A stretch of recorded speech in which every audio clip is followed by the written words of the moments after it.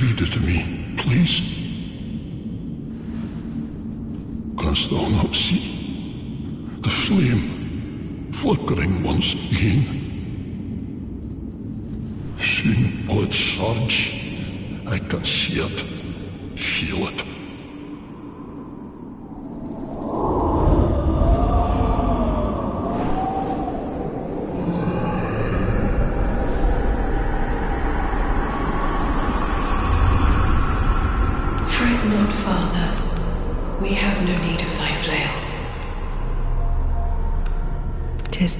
The flame quivering at misguided ash. Please avert thine eyes.